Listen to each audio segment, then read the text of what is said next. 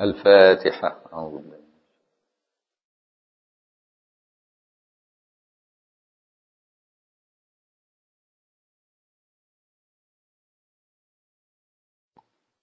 بسم الله الرحمن الرحيم. الحمد لله رب العالمين. وأشهد أن لا إله إلا الله. وأشهد أن سيدنا محمد رسول الله. صلى الله عليه وآله وسلم وشرف وكرم وبارك وعظم وعلى آله وصحبته والتابعين وتابعيهم بإحسان إلى يوم الدين بكل لمحة ونفس. عدد ما وسع علم الله. اللهم اغفر ذنوبنا واستر عيوبنا بلغنا مما يرضيك آملنا. وفقنا يا رب وسائر المسلمين لما تحبه وترضاه يا رب العالمين. اللهم بارك لنا في أسماعنا وأبصارنا وقلوبنا وأزواجنا وذرياتنا وآبائنا وأمهاتنا وأقربائنا ومشايخنا وآل بيت نبينا وحفاظ كتاب ربنا وذرياتهم وسائر المسلمين وتب علينا إنك أنت التواب الرحيم. اللهم اكفنا وسائر المسلمين السوء بما شئت وكيف شئت إنك على ما تشاء قدير. يا نعم المولى ويا نعم النصير غفرانك ربنا وإليك المصير. اللهم يا حي يا قيوم نسألك برحمتك أن تحسن خواتيمنا وخواتم المسلمين وأن تدخلنا في كل الأمور مدخل صدق وأن تخرجنا من كل الأمور مخرج صدق وأن تجعل لنا من لدنك سلطانا نصيرا. وصلي وسلم وبارك على سيدنا محمد وعلى آله. أما بعد نكمل قراءة وشرح حاشية الشيخ إبراهيم البيجوري على شرح ابن قاسم الغزي على متن الغاية والتقريب للقاضي أبي شجاع بفقه السادة الشافعية رحمهم الله تعالى ونفعنا الله بعلومهم في الدارين آمين. وما زلنا في كتاب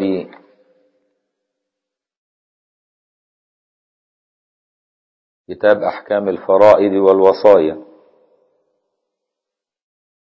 واليوم نتكلم على فصل في عدد الفروض وبيانها وبيان أصحابها وما يتعلق بذلك. يقول والفروض المقدرة وفي بعض النسخ والفروض المذكورة في كتاب الله تعالى ستة لا يزاد عليها ولا ينقص منها إلا لعارض كالعول. وهنشرح يعني إيه العول.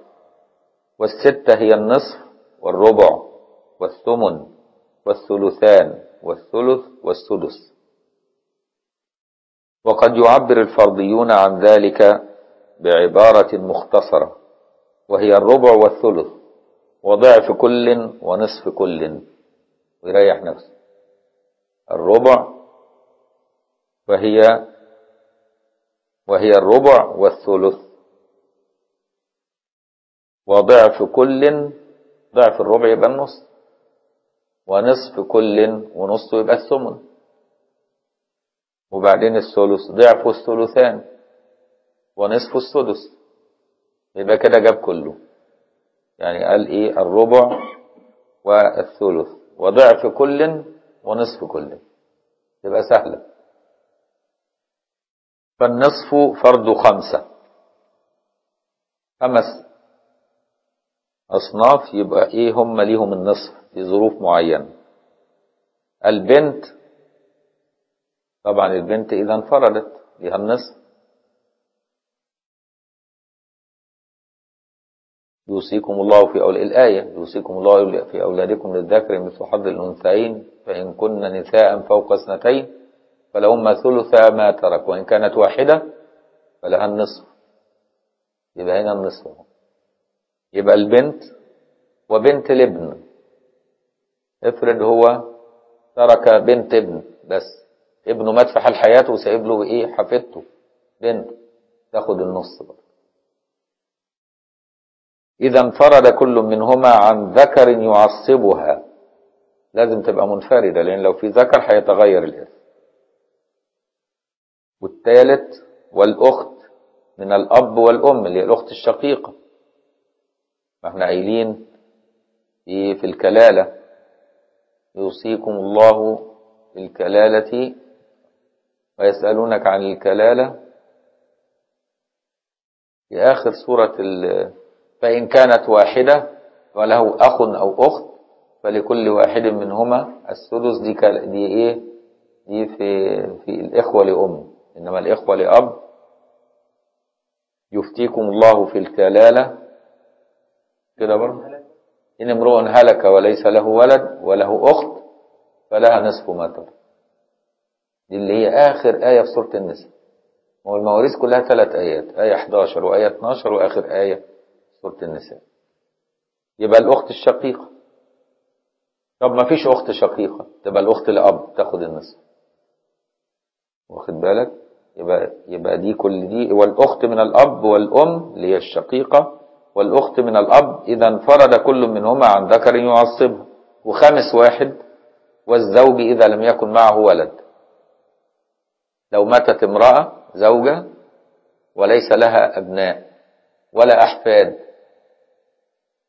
زوجها يرث النصف. يبقى دي يبقى إحنا عندنا خمس أصناف وبياخدوا النصف. عندنا الابن البنت إذا انفردت. وبنت الابن والأخت الشقيقة والأخت لأب طبعا إذا انفردوا من إيه؟ من ذكر يعصبهم. والزوج إذا لم يكن معه ولد. ذكرا كان أو أنثى. وما يكونش معاه كمان ولا ولد ابن. والربع فرض اثنين بس. الربع ياخدوا اثنين بس. الزوج مع الولد أو ولد الابن.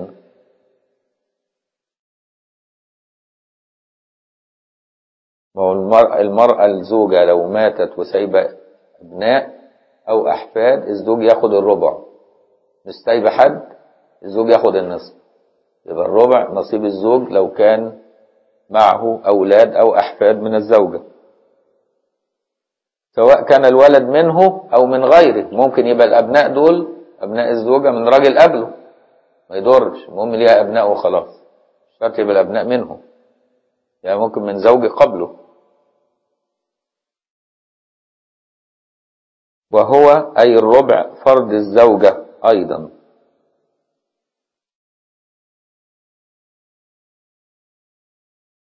والربع فرض الزوجة والزوجتين والزوجات مع عدم الولد أو ولد الابن. واحد متزوج زوجة ولم ينجب ومات الزوجة تاخد الربع. كده برضه طالما ما عندوش أولاد لا منها ولا من قبلها ولا من غيرها. يبقى الزوجة هنا تاخد الربع. طب متعددين سايب زوجتين ياخدوا الربع مناصفة طب سايب ثلاث زوجات ياخدوا الربع برضه إيه مثالثة طب سايب أربع زوجات ياخدوا الربع برضه مرابعة. بالتساوي يعني. واضح؟ وهو أي الربع؟ يبقى والربع فرض اثنين الزوج مع الولد أو ولد الابن. سواء كان الولد منه أو من غيره وهو أي الربع فرض الزوجة والزوجتين والزوجات مع عدم الولد أو ولد الابن. والأفصح في الزوجة حذف التاء. يعني نقول زوج. لكن هنا في تملي باب المواريث يقول لك زوجة ويحط التاء ليه؟ عشان لإزالة أي لبس. ولكن إثباتها في الفرائض حسن للتمييز. والثمن فرض الزوجة والزوجتين والزوجات. الثمن دي خاص بالزوجات بس. يبقى لو الرجل له أولاد الزوجة تاخد الثمن. طب اتنين يبقى يتنصفوا الثمن. ثلاثة يتسلسوا الثمن. أربعة يتربعوا الثمن. الثمن على أربعة. والزوجات مع الولد أو ولد الابن ويشتركن كلهن في الثمن كفاية كده إحنا لو قدرنا نخلص لحد هنا النهاردة يبقى كويس. هنشوف كلام الشيخ البيجوري على الموضوع ده. فصل في عدد الفروض وبيانها وبيان أصحابها وما يتعلق بذلك ولفظ فصل ساقط من بعض النسخ. قول والفروض المقدرة اعترض على ذكر المقدرة بعد الفروض. بأن فيه تكرار لأن معنى الفروض هو المقدرة برضه. فكأنه قال والمقدرة المقدرة وأجيب بأن المراد بالفروض الأنصباء فكأنه قال والأنصباء المقدرة. وأما على النسخة التي فيها المذكورة والفروض المذكورة أحسن من النسخة اللي مكتوبة الفروض المقدرة. في نسخة مكتوبة الفروض المذكورة في كتاب الله. أحسن عشان نبعد عن الإيه؟ عن الاعتراض. وأما على النسخة التي فيها المذكورة فلا اعتراض وهي التي أشار إليها الشارح بقوله وفي بعض النسخ والفروض المذكورة وقوله في كتاب الله أي القرآن العزيز. وإنما قيد بقوله المذكورة في كتاب الله لئلا يرد عليه ثلث الباقي في مسائل الجد والإخوة حيث كان معه ذو فرد. وزادت الإخوة على مثليه كأم وجد وخمسة إخوة. وأصلها من ستة وتصح من ثمانية عشر. وقيل من ثمانية عشر تأصيلا لأن فيها سدسا وثلث الباقي للأم ثلاثة وللجد ثلث الباقي خمسة ولكل أخ اثنان من العشرة الباقية لأنه من قبيل الاجتهاد. المسألة دي مسألة الجد. اكتبها لك بس عشان تفهمها. أولا إحنا ميراث الجد هيجي لوحده لكن هقوله لك باختصار. الجد لأب هو اللي بيرث مش الجد لأم. والجد لأب يرث تعصيبا إذا انفرد يعني ياخد كل التركة لو ما كانش معاه حد. طيب ولو معاه إخوة يورث مع الإخوة ما يحجبهمش لكن الأب يحجب الإخوة لكن الجد ما يحجبش الإخوة يورث مع الإخوة. يكون له السدس الكل سدس الكل أو ثلث الباقي أيهما أحظى له. يعني نديله الباقي بعد الفرائض. يا إما نديله سدس كل الإرث سدس ويخرج وندي للإخوة الباقي يتقسم عليهم أو نديله ثلث الباقي. ثلث الباقي أيهما أكبر له أحظى له يعني أكبر. كويس؟ فهنا عايز يقول لك إن مسألة الجد دي مسألة اجتهادية ما ذكرتش في في القرآن علشان كده مش هتدخل في المسألة. فندي لك مثالها وتقسيمتها إزاي هم بيحسبوها. فبيقول مثلا هنا واحد مات وسايب أم وسايب جد وسايب خمس إخوة. إخوة ذكور يعني. كويس؟ الأم طالما في إخوة تاخد السدس. على طول. طالما في إخوة الأم تاخد السدس. والجد هياخد ثلث الباقي. ثلث الباقي. الباقي بعد السدس ده. والإخوة ياخدوا الباقي. طالما المسألة فيها سدس وتلت يبقى تخلي أصل المسألة من 18 عشان ننقيها أسهل لنا يعني عشان نقسم لأن تضرب 3 في 6 تطلع ال 18 على طول. طيب ال 18 تبقى الأم تاخد 3 من ال 18 كده برضو؟ هيتبقى من ال 18 إيه؟ 15 الجد ياخد ثلث الباقي. تلت ال 15 كام؟ يبقى الجد ياخد خمسة. يتبقى لي 10 من ال 18 ودول خمسة إخوة. يبقى كل أخ ياخد اتنين. فهمت المسألة؟ سهلة؟ فهي دي اللي بيشرحها لك ال ال الشيخ.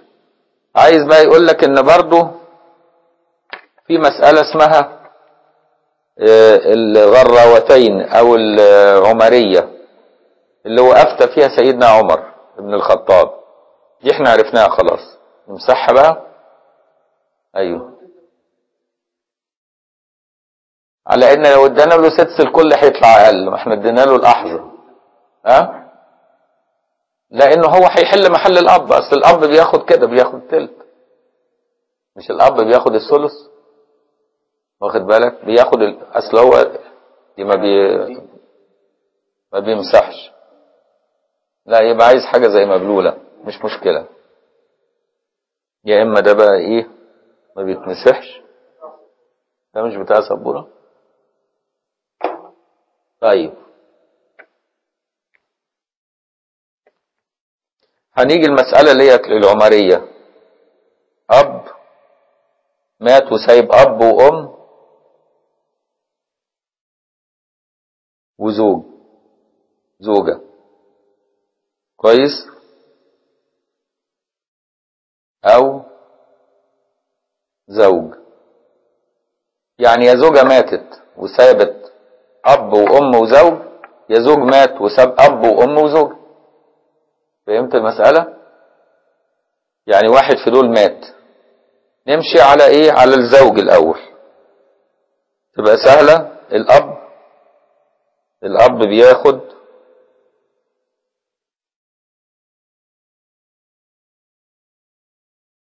هنبتدي ناخد الأم الأول. الأم تا... الزوجة أصحاب الفروض. لو الزوج مات الزوجة هتاخد الربع. خلاص؟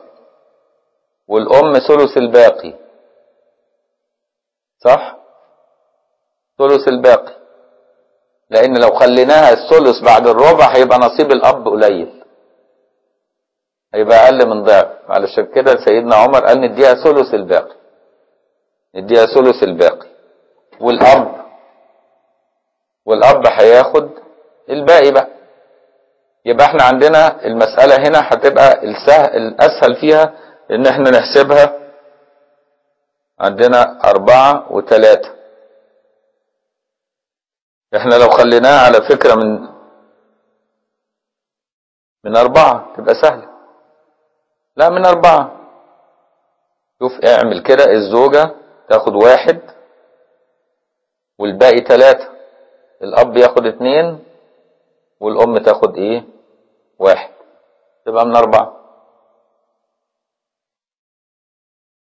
لو خليناها على فكرة من من 12 هتبدأ تختصر في الآخر تلاقيها برضو واحد واحد اتنين. هتوصل لنفس النتيجة. يعني لو الزو لو كان هو سايب أربع أربع قراريط الزوجة هتاخد الربع. يبقى قيراط واحد من الأربعة. كويس؟ يتبقى لنا الأم بتاخد تلت الباقي. الباقي تلات قراريط من الأربعة يبقى الأم تاخد قيراط الباقي يبقى قيراطين يبقى هنا للذكر مثل حظ الأنثيين. فهمتني برضو إزاي؟ يبقى الأب ياخد ضعفها. طيب نيجي نحلها بقى. لو لو كان الزوج هو اللي عايش والزوجة هي اللي ماتت. الزوجة لو ماتت ومش سايبة أبناء يبقى الزوج ياخد نص. صح؟ لأن ملهاش أبناء. والأم هتاخد ثلث الباقي. مش كده برضو؟ يبقى عندنا هنا اتنين في تلاتة نخلي أصل المسألة ستة. تبقى سهلة. لو أصل المسألة ستة يبقى الزوج ياخد تلاتة من ستة.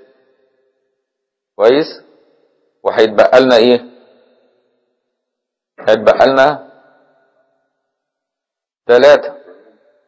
يبقى الأب هياخد اتنين والأم تاخد واحد. يبقى كده بقت سهلة.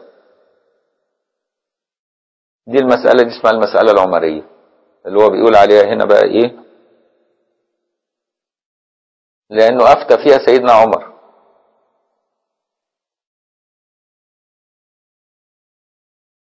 في حد معاه الكتاب عشان يقرأ لي الحتة دي وأنا واقف يعني.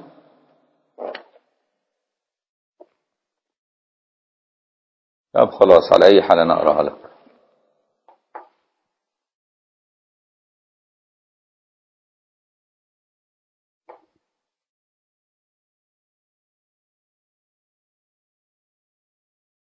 فبيقول هنا وإنما قيد بقوله المذكورة في كتاب الله لئلا يرد عليه ثلث الباقي في مسائل الجد والإخوة حيث كان معه ذو فرد وزادت الإخوة على مثليه كأم وجد.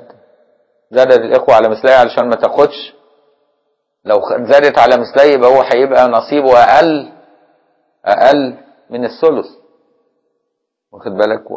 وأقل من السدس لما تخصم أصحاب الفروض علشان كده لازم نديله الأول.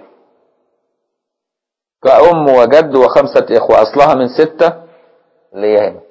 أصلها من ستة اللي هي ثلاثة لأن الستة تنفع مع الثلاثة برضه. لكن إحنا عشان نقسم الخمسة إخوة خليناها نديها نقسمها على تقسيمة أكتر. فنروح ضاربين عشان تبقى من 18 لأن أنت لو خليتها من ستة وادينا للأم واحد وادينا للجد اتنين يبقى عندنا باقي لنا تلاتة. تلاتة نقسمهم على خمسة تبقى صعبة هتبقى فيها كسور. لكن لما نخلي 18 أصلها 18 يبقى كل أخ هياخد اتنين وخلاص. تبقى سهلة يعني. عشان كده هنخلي الأصل على 18 بدل ما نخليه على 6 عشان ما يحصلش كسر مع الإخوة.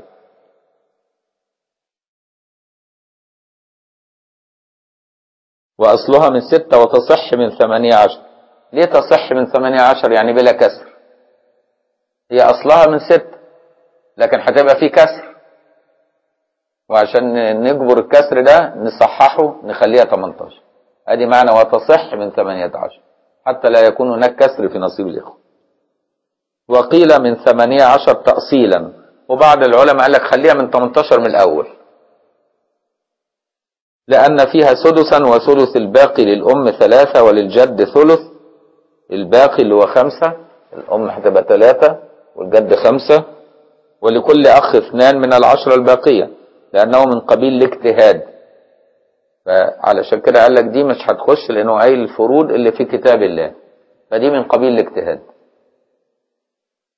ومثله ثلث ما يبقى في الغراوين. الغراوين اللي هي المسألة دي. ما دي مسألتين في مسألة. إما زوجة ماتت أو زوج مات فكل مسألة تبقى واحدة. يبقى دي مسألتين اسمها الغراوين يسميان أيضا بالعمريتين لقضاء سيدنا عمر رضي الله تعالى عنه فيهما بذلك وبالغريبتين لغرابتهما ومخالفتهما للقواعد. وهما أب وأم وزوج أو زوجة. اللي إحنا شرحناه أب وأم وزوج أو زوجة. ففي المسألة الأولى بأن ماتت الزوجة في المسألة الأولى عن أبيها وأمها وزوجها. فللزوج النصف واحد لأنها من اثنين مخرج النصف. وللأم ثلث الباقي وهو واحد فانكسرت على مخرج الثلث. تضرب ثلاثة في اثنين بست فهي من ستة تصحيحا عشان ما يبقاش في كسور. وقيل تأصيلا لأن فيها نصفا وثلث الباقي فللزوج النصف ثلاثة وللأم ثلث الباقي واحد وللأب اثنان. اللي إحنا حليناه اتنين اتنين وواحد اتنين للأب واحد للأم وثلاثة للزوج.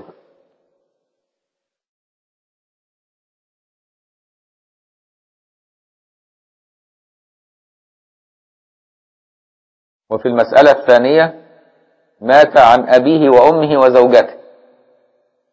يبقى إيه دي المسألة الثانية؟ اللي هي لما تبقى الزوجة هي اللي عايشة والزوج هو اللي مات؟ فللزوجة الربع اللي إحنا كاتبينه أهو. الربع واحد لأنها من أربعة مخرج الربع. وللأم ثلث الباقي واحد وللأب اثنان. وأما السبع والتسع في مسائل العول فالأول سدس عائل والثاني ثمن عائل. مثال الأول زوج وأخت شقيقة وأخت لأب. نشرح لك المسألة دي. يعني إيه العول؟ العول إن تلاقي الأنصباء أكتر من الإرث نفسه. يعني من الكسر نفسه. فتضطر تقسم على كله. ممكن تبللي دي بلتها؟ طب.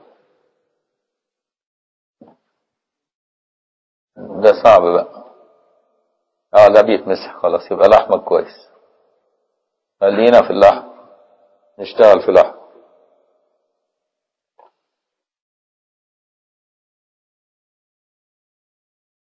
مسألة العول دي في سدس عائل اللي هي السدس العائل يعني سدس زايد عائل يعني زائد يعني بقى عالة يعني. كويس؟ اللي هي مسألة إيه؟ زوج وأخت شقيقة.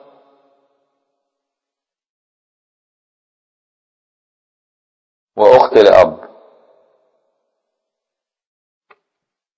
يعني ماتت امرأة سابت زوج وأخت شقيقة وأخت لاب دول الورثة بتوعها. ملهاش أبناء ملهاش حد تاني. فيبقى الزوج هياخد النصف. كده برضو. والأخت الشقيقة تاخد النص. خلصت ودي هتاخد إيه؟ المفروض بتاخد السدس. تكملة الثلثين. تكملة الثلثين. واضح؟ فعلشان هنا حصل السدس ده بقى إيه؟ بقى عائل عليه عالة على دول. فنروح مزودينه على كل ده بحيث ننقص من هنا وننقص من هنا عشان نجيب سدس لده. فالسدس ده يصير صبع فهمت إزاي؟ لو اعتبرنا إن المسألة أصلها من إيه؟ من ست. يبقى ده ياخد تلاتة. لو أصلها من ست ودي تاخد تلاتة وده المفروض ياخد واحد. تلاتة وتلاتة وواحد يبقى كام؟ سبعة. يبقى ده هيصير صبع فهمت؟ يبقى كأن هنخليها في الآخر. يبقى ده يسميه السدس العائل ده يصير صبعا. بسبب العول ده. بدل ما هنقسمها على ستة هنقسمها على سبعة. يبقى هت إيه على سبعة. فهمت المسألة؟ فده السدس العائل تيجي بقى إيه لمسألة فين البشورة أين ذهب؟ طيب نيجي مسألة العول اللي هو إيه؟ السمن العائل بقى. في سمن عائل. ودي اللي حلها سيدنا علي ارتجالا على المنبر وهو بيخطب. واخد بالك؟ يعني اتعرضت عليه وهو بيخطب؟ آه ما يجريش. خلي دي خليها خليها علشان إيه؟ يفضلوا فاكرينها يبقى دي على سبعة أيوه. ودي السمن العائل بقى. السمن العائل اللي هي زوجة يعني مات وساب زوجة وأبوان وبنتان. خلاص؟ الزوجة بتاخد التمن والأبوان كل واحد ياخد سدس ليه؟ عشان ليه بنات. ليه فرع وارث. والبنتين ياخدوا التلتين. كده برضو؟ تيجي تعدها؟ خليها 24 نخليها من 24 يعني هنضرب في 3 تبقى الزوجة تاخد 3 كده؟ وهنا تاخد أربعة كل أب ياخد أربعة؟ الأب والأم ده أربعة وده أربعة. أربعة وأربعة كام؟ ثمانية وثلاثة 11 وهنا ياخدوا 16 يعني كل واحد ياخد 8 طب اجمع بقى 16 و4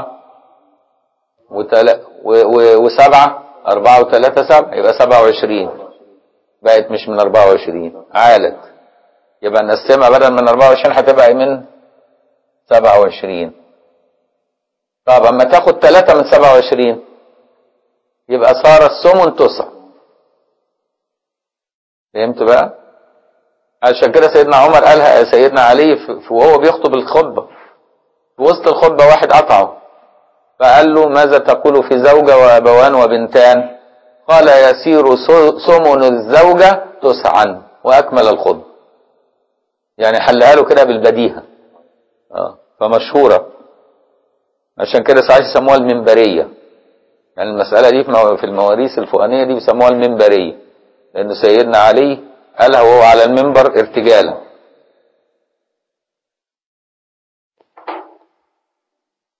فنيجي نقرأ هنا بقى إيه المسائل دي.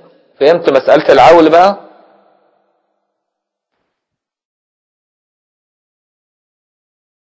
هي العول على فكرة لو فهمته بالطريقة اللي دي أسهل طريقة لتشريع لشرح العول على فكرة. إزاي أنت تحلها وتقسمها على طول. بتجمع الأنصبة وتعدل الأصل. يعني إحنا ابتدينا الأصل 24 وجمعنا لقيناهم بقت 27 نروح مقسمينها على 27 هو ده العود في طرق تانية تقعد بقى إيه؟ تلففك وتدورك وتنسيك. فالطريقة دي أحسن يعني.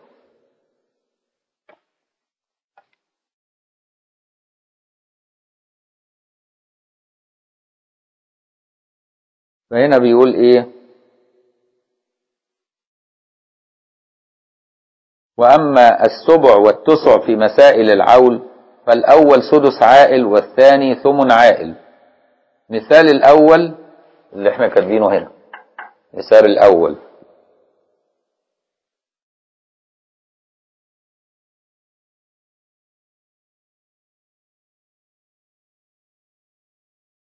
للأب آه، مثال الأول زوج وأخت شقيقة وأخت لأب فللزوج ثلاثة وللأخت الشقيقة ثلاثة ويعال للأخت للأب بواحد لأن لها السدس تكملة الثلثين وهو وإن كان سبعا في الحقيقة لكنه سدس عائل. كما علمت. ومثال الثاني زوجة وأبوان وبنتان اللي هي الفوق دي. زوجة وأبوان وبنتان. فللبنتين الثلثان ستة عشر لأنها من أربعة وعشرين. وللأبوين السدسان ثمانية. وللزوجة الثمن ثلاثة. وهو وإن كان تسعا في الحقيقة لأنها بقت على سبعة وعشرين. ثلاثة من سبعة وعشرين تسع لكنه ثمن عائل وتسمى المسألة دي المنبرية. لأن سيدنا عليا سئل عنها وهو على المنبر بعد أن قال الحمد لله الذي يحكم بالحق قطعا ويجزي كل نفس بما تسعى وإليه المآب والرجعى فأجاب بقوله ارتجالا من غير تأمل صار ثمن المرأة تسعى. على نفس حتى إيه؟ ال- ال- السجع بتاع الخطبة. وكمل خطبته صار ثمن المرأة تسعى ومضى في خطبته. وأما السدس الذي للجدة ولبنت الابن فهو مذكور في القرآن لأنه ذكر فيه السدس للأم. قال تعالى فلأمه السدس فيصدق على السدس أنه مذكور في القرآن بقطع النظر عن مستحقه. أما كان أما كان أو جدة أو بنت ابن. قوله ستة إحنا إحنا قلنا الفروض في كتاب الله ستة. خبر للفروض. يبقى الفروض ستة. مش تقول في كتاب الله ده مبتدأ مقدم وستة ده خب... أو أو خبر مقدم وستة مبتدأ. لا. لأن خبر للفروض ولا يتوهم أن الخبر قوله في كتاب الله. يعني ما تقولش الفروض في كتاب الله. الفروض تبقى مبتدأ وفي كتاب الله تبقى خبرها. ما تنفعش. لأن فين الخبر؟ ما هو الخبر يتم به المعنى لكن في كتاب الله ده جر ومجرور متعلق بما سبق ولسه ما كملش المعنى.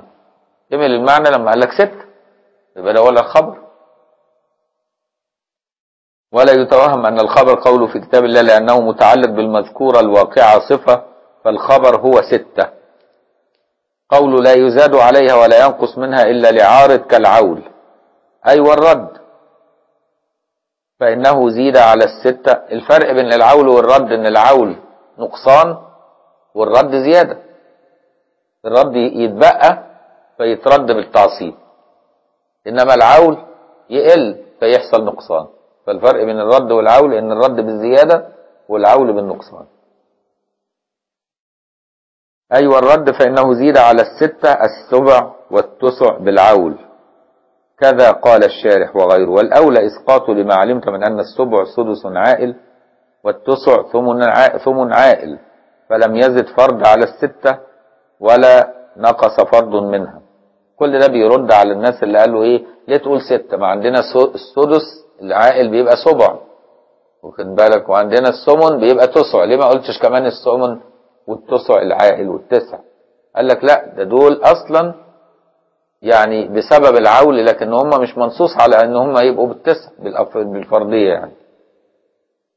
أيوه.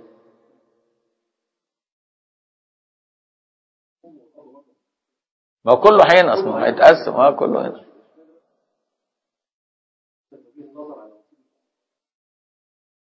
لا ده الزوجة. لأن هي دي اللي حلت المسألة. يعني ده رمز لحل المسألة بس. رمز لحل المسألة. لكن هو في العول عموما الكل بينقص. بس بينقص بنسبة إرثه. مش بينقص كل حاجة كله بينقص بنسبة إرثه آه. يعني أما سيدنا عمر آه سيدنا علي قال التسع كأن دي أمارة إن اتحلت المسألة.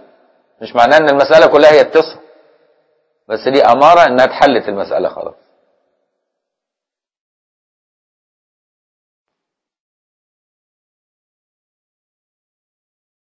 فلم يزد فرض على الستة ولا نقص فرض منها وإنما هو راجع إلى مقدار المال. فالعول نظير قلة المال والرد نظير كثرة المال وحق ذلك أن يذكر في تفسير كون الفروض مقدرة كما ذكره الشيخ الخطيب اللي هو الخطيب الشربيني فإن معنى كونها مقدرة أنه لا يزاد عليها ولا ينقص منها إلا لعارض عول أو رد. فبالعول ينقص من قدرها وإن زيد في عددها والرد بالعكس.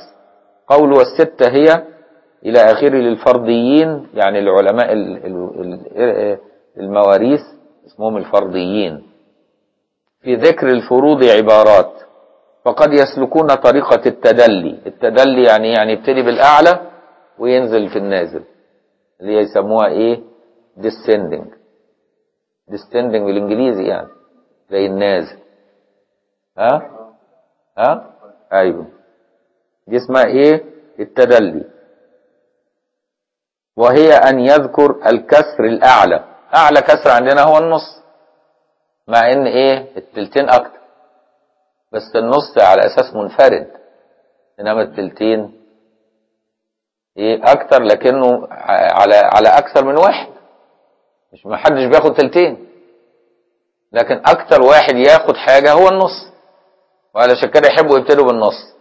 وإن كان الشيخ السبكي كان يحب يبتدي بالتلتين على أساس هو أول فرض ذكره الله في كتابه. مش بيقول يوصيكم الله في أولادكم للذكر مثل حظ الانثيين فإن كن نساء فقوتان فلهن ثلثا ما ترك. وإن كانت واحدة فلها النصف فربنا ابتدى بالثلثين. فليه إحنا نبتدي بالنص ما نبتدي بالثلثين إحنا ده كان رأي الإمام السبكي يعني. واخد بالك؟ ما أيوه أنا واخد بالي. يعني هو يقصد لما نيجي نشرح ابتدي بالثلثين الأول واشرح. على أساس إن ده, وجهة نظر إن هو ربنا ابتدى بيه. لكن معظم علماء الف- الفروض أو الفرضيين يعني بيبتدوا بالنصف بس- من ناحية التدلي. وأحيانا يبتدوا بالتصاعد. يبتدي لك بالربع والثمن. يبتدي لك الثمن. واخد بالك؟ وهكذا. وفي التوسط اللي هي هيشرحها لك. له. وهي أن يذكر الكسر الأعلى ثم يتدلى لما تحته كما صنع المصنف لأنه قال النصف والربع. إلى آخره. وأقصر من عبارة المصنف أن تقول النصف والثلثان ونصفهما ونصف نصفهما. يعني لما تمشي بإيه؟ من جهة بطريقة التدلي وتكون أقصر حاجة هتقول النصف والثلثان ونصفهما ونصف نصفهم. كويس؟ عشان تجيب كله. ومثل عبارة المصنف أن تقول النصف ونصفه ونصف نصفه والثلثان ونصفهما ونصف نصفهما. وقد يسلكو يسلكون طريقة الترقي. الترقي اللي هي الايه؟ الاسندنج بقى. يعني من الأدنى للأعلى ده الترقي. وهي أن يذكر الكسر الأسفل ثم يترقى لما فوقه كأن تقول الثمن والسدس. وضعفهما وضعف ضعفهما. وقد يسلكون طريقة التوسط وهي أن يأتي الكسر الوسط ثم يصعد درجة وينزل درجة. كأن تقول الربع والثلث. وضعف كل ونصف كل. دي التوسط علشان يحطها في الوسط. ويطلع درجة وينزل درجة. كويس؟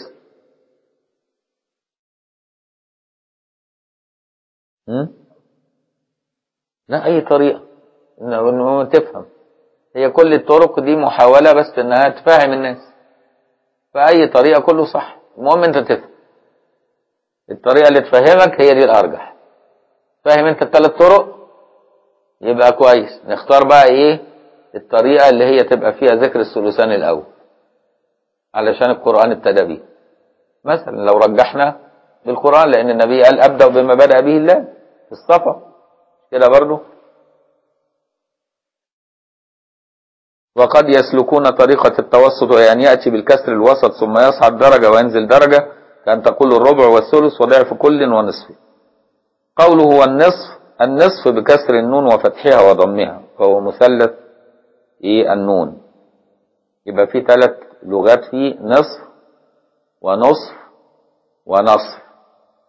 يعني تفتح النون وتكسرها وتضمها. دي ثلاث لغات. وفي لغة رابعة وهي نصيف كرغيف ولغة خامسة وهي نص بلا فاء. لغة العوام المصريين. يقول لك اهو نص. كده؟ نص من غير فاء. كل دي يبقى فيها خمس لغات. وهي المتداولة بين العوام وبدأ به المصنف كغيره لأنه أكبر كسر مفرد. كلمة كسر مفرد دي مهمة عشان يخرج الثلثان فخرج بالمفرد الثلثان فإنه وإن كان أكبر من النصف لكنه مثنى والمفرد أخف من المثنى. وقال السبكي وكنت أود أن يبدأوا بالثلثين لأن الله تعالى بدأ بهما. ثم رأيت أبا النجاء والحسين بن عبد الواحد العراني بدأ بهما فأعجبني ذلك. يعني شاف اثنين من علماء الفروض بدأوا بالثلثان فأعجب الإمام السبكي المسألة دي. قوله والربع وهو وهو هو وما بعده يجوز فيه الضم والسكون. يعني تقول الربع والربع. ينفع إيه؟ تسكن الباء وينفع تضم الباء. قول وقد يعبر الفرضيون عن ذلك بعبارة مختصرة وهي قد عرفت أنها عبارة عبارة من سلك طريقة التوسط وهي الأولى لأن خير الأمور التوسط أو قال لك الخي... الشيخ البيجوري بيقول لك هي إيه؟ التوسط الأولى. ليه؟ لأن خير الأمور الوسط. كويس؟ فأجاوب لك على إيه السؤال بتاعك؟ وضعف كل أي كل من الربع والثلث. فضعف الربع النصف وضعف الثلث الثلثان لأن ضعف الشيء مثلاه. وقول ونصف كل أي من الربع والثلث. فنصف الربع الثمن ونصف الثلث السدس. قول فالنصف إلى آخره لما فرغ من عد الفروض وبيانها شرع في بيان أصحابها. والفاء واقعة في جواب شرط مقدر فكأنه قال إذا أردت بيان أصحاب الفروض فأقول لك النصف. قول فرض خمسة أي كل واحد منهم كما هو ظاهر. قوله البنت أي لقوله تعالى فإن كانت واحدة فلها النصف. قراءة نافع فإن كانت واحدة بالضم. فإن كانت على إن كانت تبقى تامة يعني. تبقى بمعنى إيه؟ وجدت يعني. تبقى معناها معناها وجدت. فإن وجدت واحدة.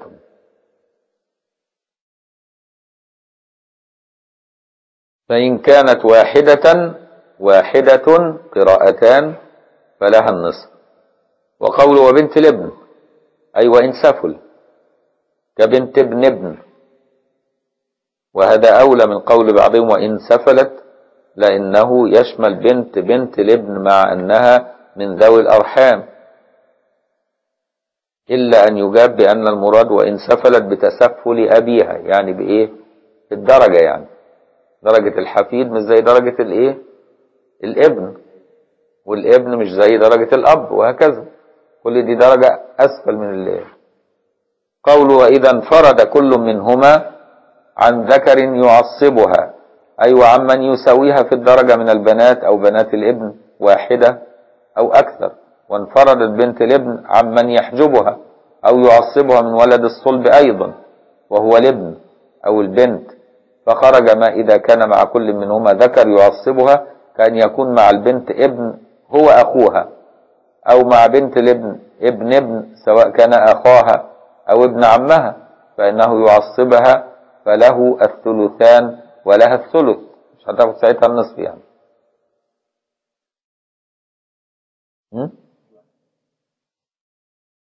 ده الثلثان ده لل... للابن يعني. ما هو ده بياخد الباقي للذكر مثل حظ الأنثيين. ممكن مرة ياخد الثلثان ومرة ياخد النص. واخد بالك؟ ومرة ياخد الربع لو متقسمة على ثمانية وياخد الضعف. ما هو أيوه ما تعصيب. ما هو بياخدوا هنا علشان التعصيب وعلشان الذكر حظ الأنثيين. يعني لما يبقى ولد وبنت واحد مات وسايب ولد وبنت. الولد هياخد الثلثين والبنت واحد علشان هي هتاخد طب افرض سايب ولد وخمس بنات. هيبقى هيبقى خمسين. ياخد خمسين. كده برضو؟ وهكذا. سايب خمس بنات وأم. هيبقى نصيب البنت زي نصيب الأم وهو ضعف الايه البنت والأم. لأن الأم هتروح واخدة الثمن والبنات هتيجي تتقسم تلاقي البنت برضه تاخد الثمن زي أمها والابن هياخد الربع. فهمت؟ علشان كده ما ينفعش تقول بقى إن الثلثان بياخدوا واحد أهو لا. ده هنا خدوا عشان ينفرد مع البنت. فهمتني؟ فإنه يعصبها فله الثلثان فله الثلثان ولها الثلث. وما إذا كان مع البنت بنت أخرى أو أكثر أو مع بنت الابن بنت ابن أخرى أو أكثر فلهما أو ولهن الثلثان أو لهن فلهما أو لهن. فلهما لو كانوا اثنين يعني أو لهن لو كانوا أكثر من اثنين الثلثان. وما إذا كان مع بنت الابن ابن فإنه يحجبها. لأن الابن هيحجب الحفيد. لكن في في القانون المصري هيورث الحفيد بالوصية الواجبة بس مش من أصحاب الفروض. القانون المصري بيقول الوصية الواجبة للحفيد لكن من حيث الفروض هو محجوب لولا الوصية الواجبة اللي أخذ بها المشرع المصري يعني. أو بنت صلب فإن لها مع فإن لها معها السدس تكملة الثلثين. قول والأخت من الأب والأم يبقى الأول البنت وبنت الابن وثالث واحدة بعد كده الأخت من الأب والأم ولو عبر بالشقيقة لكان أقصر لكنه عبر بالأوضح. وقول والأخت من الأب أي لقوله تعالى وله أخت فلها نصف ما ترك. وأجمعوا على أن المراد بها الأخت الشقيقة والأخت من الأب. بخلاف الأخت من الأم فإن لها السدس. لقوله تعالى وله أخ أو أخت فلكل واحد منهما السدس. ده في الكلالة. أي من أم أي من أم. وله أخ أو أخت من أم. كما في قراءة ابن مسعود. يعني في قراءة ابن مسعود إيه كان قراءة سي... مصحف سيدنا عبد الله بن مسعود كان حاطط فيه بعض التفسير كلمات تفسيرية. فافتكروها أنها دي كلها قراءة سيدنا عبد الله بن مسعود. فقالوا ده إيه زيادة عنه. لكن هو كان إيه حاطط تفسير واضح فلما شافوا مصحف سيدنا عبد الله بن مسعود قالوا يخالف المصحف العثماني لأنه فيه زيادات. الزيادات دي كان حاططها تفسيريه وما كانش حاطط فيه المعوذات. مش معنى كده إنه لا يعترف بقرانيتها لا لأنها محفوظة مش محتاجة تتكتب. كل الناس حافظاها. فاختصر ولم يكتب. عشان كده فهموا سيدنا عبد الله بن مسعود غلط. بعضهم قال لك ده عبد الله بن مسعود كان يقول بقراءات شاذة وبعضهم قال لك ده مصحف ابن مسعود ما فيش المعوذات. ولا يعترف بأنها من القرآن بل هي دعوات وليست قرآن كل ده تقول على سيدنا عبد الله بن مسعود. زي انت ما يبقى عندك مصحفك في البيت كده وكاتب انت معنى كلمة فوقيها. تيجي تورثه انت يجي حفيده يورثه ويفتكر ان معنى الكلمة دي جزء من المصحف. فهمت بقى المسألة؟ ما هو ده مصحفه الخاص هو كاتبه لنفسه. واخد بالك؟ مصحفك الخاص انت اكتب فيه اللي انت عايزه. آه طبعا. أنا أنا عندي مصحف خاص حاطط فيه قراءات العشر وكتب على الهوامش وكتب معاني كل حاجة. ومصحف فهمتني إزاي؟ بخط غير خط المطبعة. لكن زمان ما كانش فيه مطبعة. فكان كل الخطوط تبقى إيه؟ كأنها واحدة. فلما يجي يقرأ يفتكر إن كل ده مصحف. وطبعا سيدنا عثمان بن عفان رضي الله عنه وأرضاه وسيدنا زيد بن ثابت في جامع المصحف في العصر العثماني حللنا الإشكال ده وإلا كنا هنقعد نختلف على القرآن. قول إذا انفرد كل منهما عن ذكر يعصبها أي أيوة عمن يسويها في الدرجة من الأخوات واحدة أو أكثر وعمن يحجبها أو ينقصها من البنين والبنات فخرج ما إذا كان مع كل منهما اللي هي الأخت الشقيقة أو الأخت الأب يعني ذكر يعصبها وهو أخوها ومثله الجد فإنه بمنزلة الأخ فيعصبها. أو كان مع كل منهما من يسويها أخت أو أكثر فلهما أو لهن الثلثان أو كان هناك ابن أو بنت فإنها تحجب تحجب بالابن وتكون عصبة مع البنت فتأخذ الباقي تعصيبا لا فرضا هتاخد السدس تكملة الثلثين يعني. قول والزوج إذا لم يكن معه ولد. ده برضه بياخد النصف. أي لقوله تعالى ولكم نصف ما ترك أزواجكم إن لم يكن لهن, لهن ولد. وولد وولد الابن كولد الصلب. في حجب الزوج من النصف إلى الربع. إجماعا. إما لصدق الولد به مجازا فيكون مأخوذا من الآية على هذا أو لقياسه عليه في ذلك بجمع الإرث والتعصيب فيكون بطريق القياس على هذا. قوله إذا لم يكن معه ولد ذكرا كان أو أنثى يعني مولود ولد هنا يعني مولود مش ولد يعني ذكر. يعني حتى لو بنت برضه حياة. ذكرا كان أو أنثى أو أي أو خنثى. وقول ولا ولد ابن أي سواء كان ولد الابن ذكرا أو أنثى أو خنثى. ولو قال إذا لم يكن معه فرع وارث لكان أخسر. ولا فرق. بين أن يكون الولد منه يعني من هذا الزوج أو لا من زوج قبله كما سيذكره الشارح فيما سيأتي. وإنما لم يذكره هنا لأنه نكر في سياق النفي فتعم. فلا حاجة للتنبيه على التعميم بخلافه فيما سيأتي فإنه قد يتوهم التخصيص فلذلك احتاج للتعميم هناك. ناخد الربع النهاردة كمان ولا كفاية عليكم؟ ناخد الربع؟ أصل الربع سهل. هم اتنين بس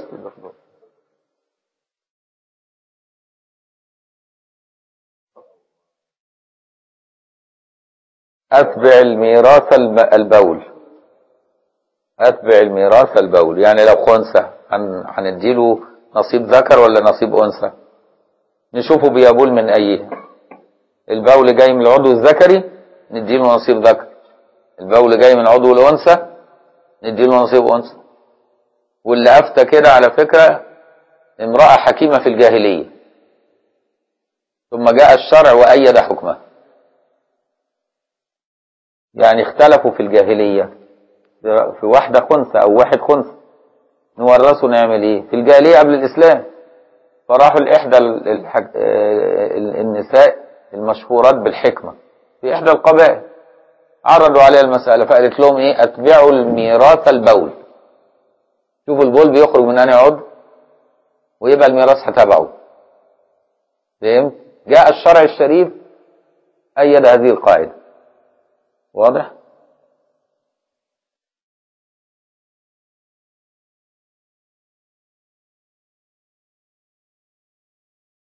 قوله أي الربع فرد الزوجة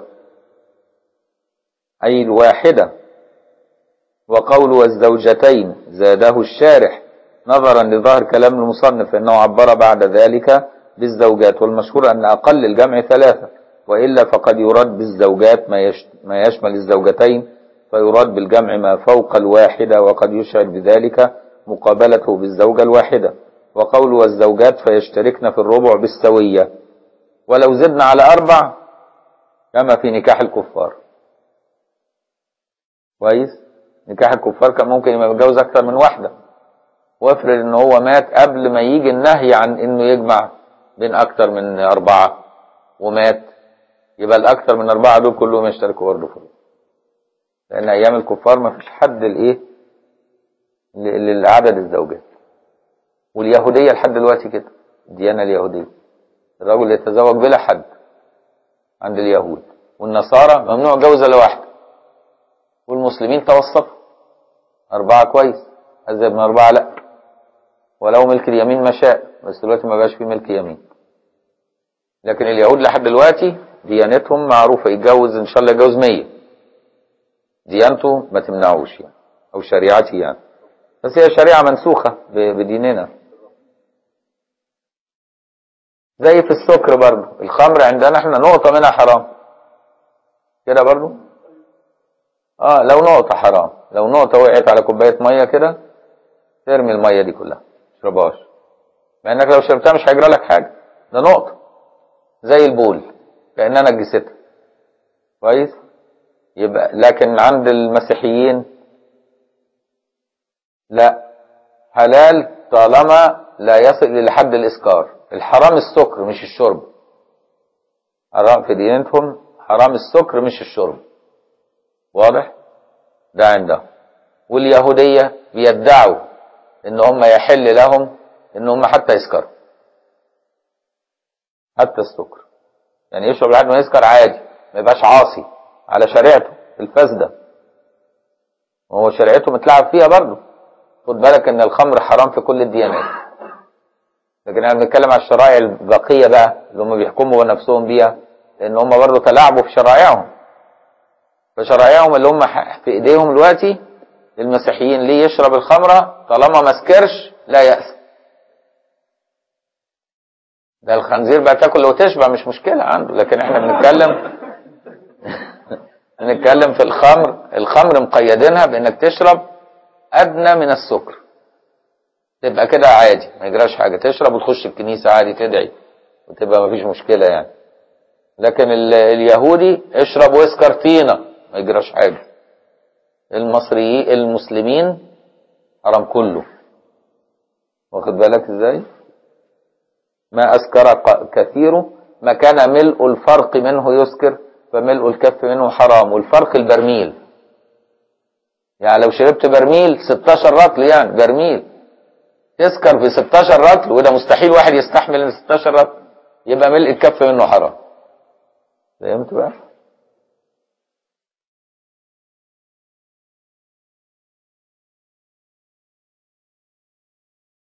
إحنا دلوقتي عملنا معاهدة ومضيناها سنة 1850 إن مفيش رق. والمسلمون عند عهودهم وعند شروطهم. فاللي يروح يشتري يبقى وانطجي بيخالف العهد. وربنا بيقول أوفوا بالعقود. والشرع الشريف يحث على إن ما يبقاش في رقيق. واضح؟ فاللي يروح الوقت بعد هذه المعادله اللي بتاعت 1850 لانهاء الرق في العالم ويجي يشتري يقول لك ما هو دلوقتي في ناس بتبيع نفسها أنا مالي أنا ذنبي إيه؟ لا ذنبك إنك أنت بتخالف العهود والمواثيق اللي إحنا ماضينا عليها وأبائك مضوا عليها. وإحنا مامورين بأوفوا بالعقود. مش كده برضه وأوفوا بالعهد إن العهد كان مسؤولا آه لو اشتراها بنية ان يحررها هي أصلا بتبيع نفسها لفقرها. فهو بقى مش هيشتريها يديها يغنيها وخلاص. لأن هم أصلا بيبيعوا نفسهم للفقر بسبب الفقر. حرام المسلمين إن هم يضربوا الرق على أحد. حرام. إلا بالحرب الإسلامية اللي هي حاليا مش موجودة. بالغزو بقى. يعني لما تغزو بلاد كفار وتأسر منهم يبقى ضرب عليهم الرق. ومأمور بقى في في الحالة دي إنك أنت تحسن إليهم وتأكلهم مما تأكل وتكسيهم مما تكسى وتربيهم أحسن تربية وتعملهم أحسن معاملة.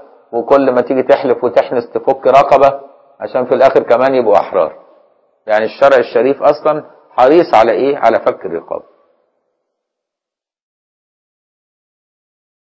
قول وهو أي الربع فرد الزوجة أي الواحدة والزوجات فيشتركن في الربع بالسوية مع عدم الولد أو ولد لابن أي لقوله تعالى ولهن ربع مما تركتم إن لم يكن لكم ولد وولد لابن كالولد إجماعا.